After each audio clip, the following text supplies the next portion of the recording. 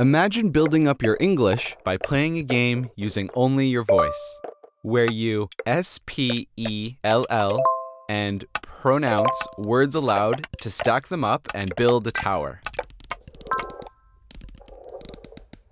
Make it as high as you can to reach new levels by filling in the blanks, guessing mystery words, and solving word jumbles. The higher you go, the more difficult it gets. But if you make a M I S S